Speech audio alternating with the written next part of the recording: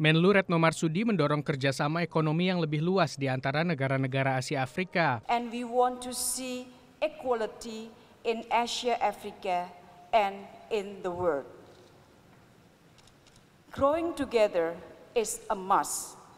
Let us make South-South cooperation and triangular cooperation as a means to grow and develop together. Sementara itu, sejumlah kerjasama ekonomi multilateral di Asia dan Afrika dipimpin oleh China, negara dengan ekonomi terbesar di dunia versi IMF.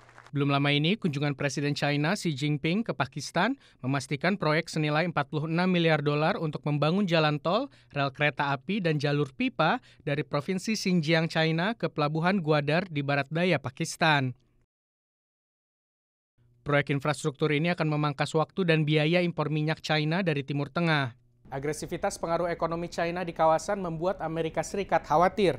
Dalam konferensi pers bersama Perdana Menteri Italia, Presiden Obama menyatakan akan memperkuat kemitraan ekonomi Trans-Pasifik atau TPP. Kongres Amerika sendiri juga telah menyetujui akan mengeluarkan undang-undang untuk mempercepat persetujuan akan TPP. Empat negara ASEAN yaitu Brunei, Vietnam, Malaysia, dan Singapura telah bergabung dengan TPP. Uh, that 95% of the world's markets are outside our borders. The fastest growing markets, the most populous markets, are going to be in Asia.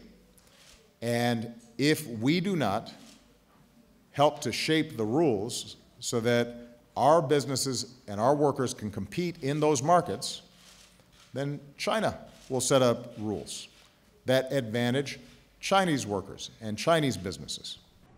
China juga telah mendirikan Bank Investasi Infrastruktur Asia yang akan menyaingi World Bank dan IMF yang didominasi Amerika dan Barat. Presiden China Xi Jinping dijadwalkan melawat ke Indonesia usai kunjungannya ke Pakistan. Dari Washington DC, tim VOA.